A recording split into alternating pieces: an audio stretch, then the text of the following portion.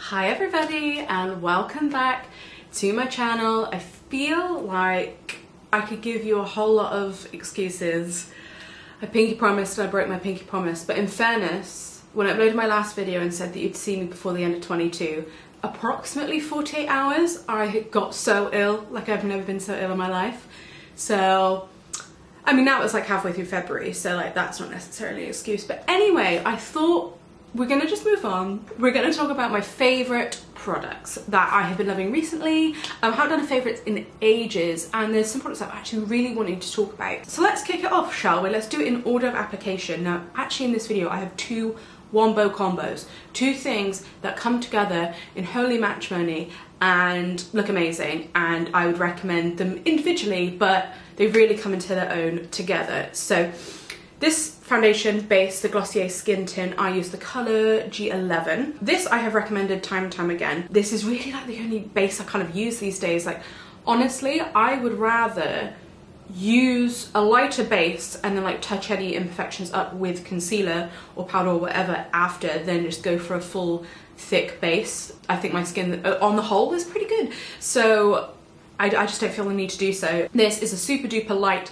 very runny base and as I said, I've recommended this time and time again, but a product that's new to me and works so well with this is the Beauty Pie Wonder Filter Brightening Primer. So this is like a pink, almost iridescent colour primer, although the pinkness doesn't really necessarily come through on the skin, so I don't think it would matter so much if you've already got like quite like red undertones or pink undertones in your skin. Um, I don't think that will like highlight those. Anyway, if I'm mixing these two together, the, I guess the only thing that is bad about this being so runny is it kind of like, it does actually spread quite well, but I feel like adding these together gives it a little bit more luminosity, a little bit more oomph and it spreads a lot easier and it's like easier to apply. It kind of has like more of a traditional uh, foundation feel. And honestly these have been just the absolute dream team working wonders. And for reference the powder that I used was the Glossier Wowder so super duper light base. If you don't have a Beauty Pie subscription I know that like I think like Charlotte Tilbury do products like this like I don't think this is necessarily unique to Beauty Pie but these together hear me when I tell you I have been loving this. I recently went traveling and I only took hand luggage and I still took both. You got limited on liquids and I was like nope I need both of these. So would recommend to a friend. Also because this is a primer it does have a longevity factor to it.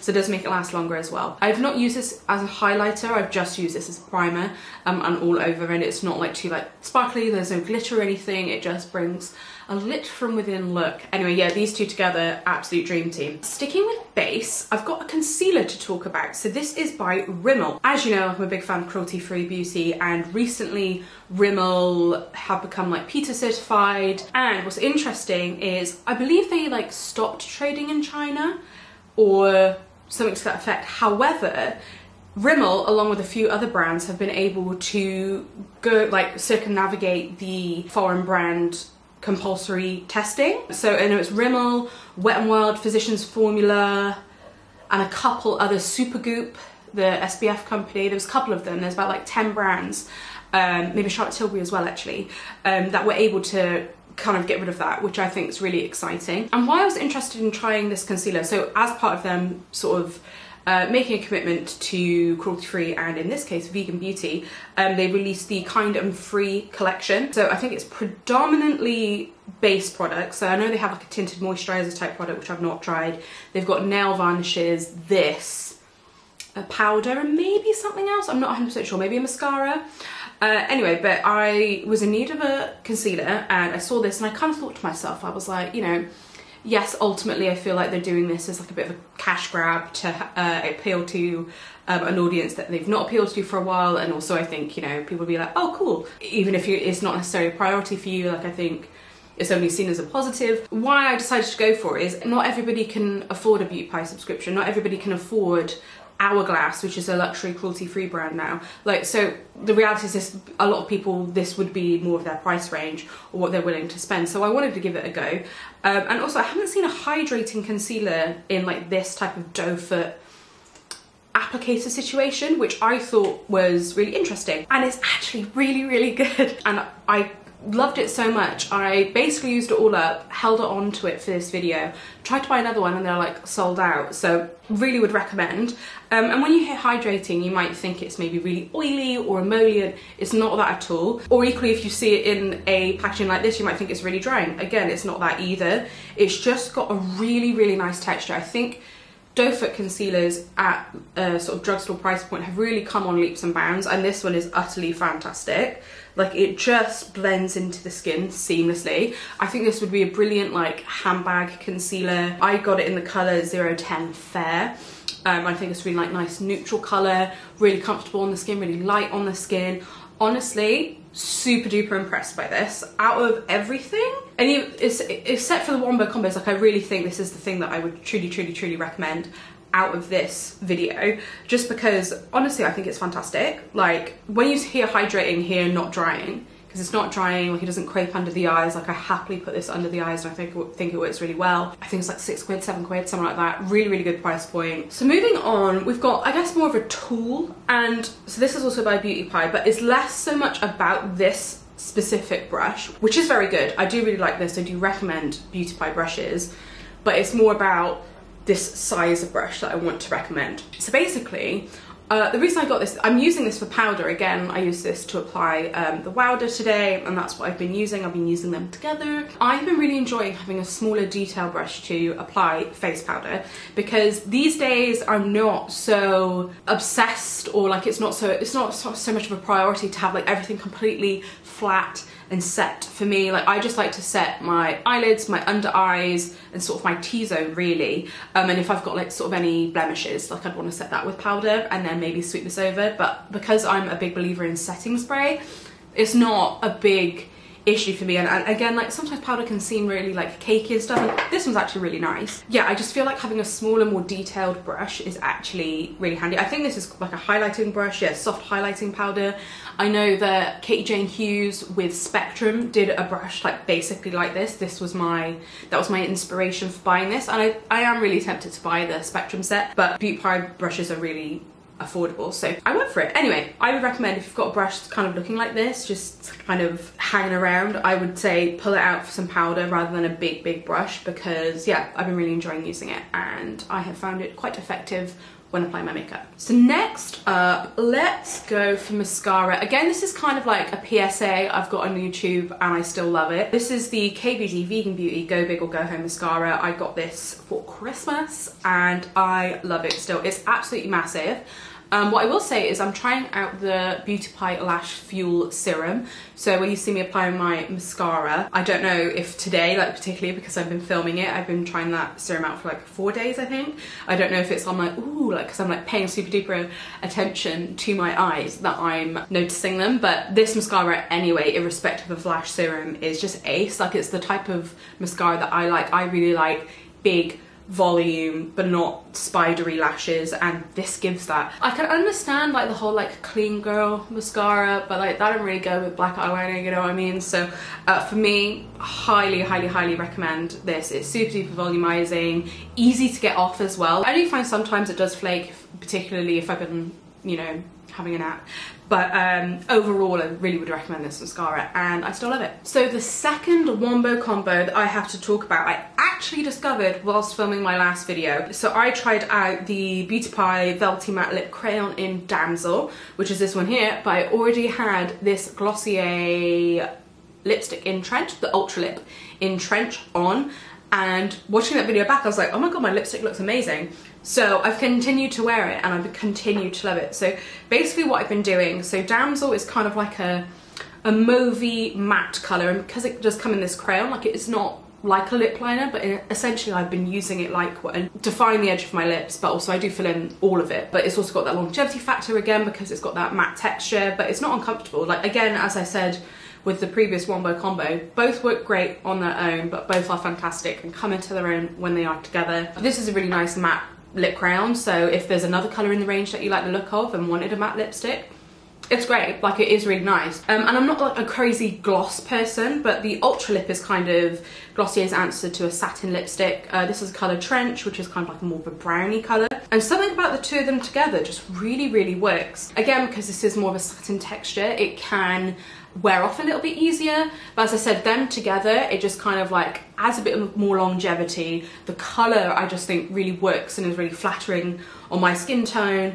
And I, if I'm wearing a nude lipstick these days, it's this combination. I've been absolutely loving it. Really comfortable on the lips too. Like you would think maybe layering two lipsticks, it could be quite, but it's not like if anything, it feels like quite nice because uh, this is a really nice texture. This one you don't feel on your lips at all. This one is a bit more, it's not like glossy in the sense like your lips are sticking together, but it's got a bit of slip to it. I don't know, I just think, as I said, both independently, lovely, together, utterly fantastic.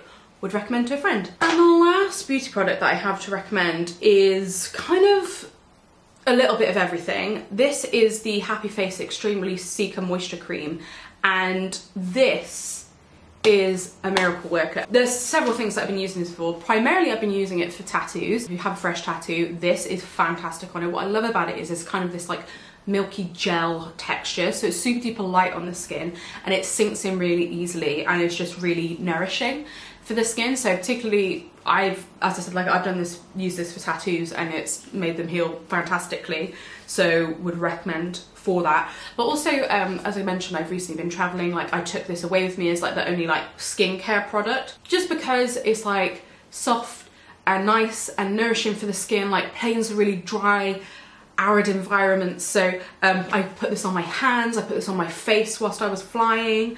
And it really created like a comfortable barrier against that recycled air. If you have sunburn, I've used this on sunburn and it was absolutely fantastic as well. Honestly, I think if you have a Beauty Pie subscription, even like you would read this and think Extreme Relief Cica Moisture Cream and think there is this really, really gnarly, heavy, emollient, oily cream that if you like you put an you know a drop too much on and you're going to break out in spots absolutely not like as i said the texture is glorious and it's not like heavy by any stretch of the imagination but even if you don't put it on your face once, even though it's called Happy Face, and you put it on tattoos, you put it on sunburn, you put it on um, any like dry areas like elbows and stuff, like I honestly think you should have like a tube of this in your house. I just find it really, really versatile and me reaching for it, honestly more than I thought I would. That's all my beauty products to talk about, but I do have a few miscellaneous things. Um, I guess it's kind of a fashion thing. Hang on, let me go grab it. It is this coat here by Hollister. Now Hollister is not my usual place to buy things. And honestly like neither is this coat. So I went to New York I know I mentioned a couple times I've been traveling which is really cold this time of year. So I kind of needed a weather appropriate coat. And honestly this has come mega in handy. Like this like puffer type situations. As I said like not really my usual thing but it's like nice and cropped. It honestly feels like a duvet. I don't know if you're able to pick up in the camera but this is like a corduroy material. Um, but they did them in a bunch of like either just like this type material or cord. Um, this was also on sale. I think it was like 45 pounds. It was half off. So I don't know if it's still available. But um, honestly, a really great steal. You know, like the weather's been gross. If you happen to be up early in the morning, it just feels like you're still wearing your duvet. Um, and I've gotten more use out of it than I thought I would. And as I said, like 45 pounds for a really warm coat is, I think, a really reasonable price. Anyway, who would have seen the day of me buying weather appropriate clothes? Anyway, I've got two more favourites I want to talk about. This one is a little random. So this is a thermal printing camera and as you can imagine it's made for children um, of which I am not but um, what's annoying is I ordered the tiger and they sent me the giraffe but I thought like as a 29 year old like maybe I shouldn't kick off about it. Um, but yeah, this is effectively what it is. It's a thermal printing camera, so it has no ink, no nothing, and it prints onto like till receipts, which I think is cool. Obviously it only prints in like black and white. It's got like a screen on the back. Hang on, let's turn it on. Hi! Yeah, so it's got like a screen on the back um, so you can see what you're shooting. The eye is the camera. Is it the best, most high-tech camera I've ever owned in my life? No.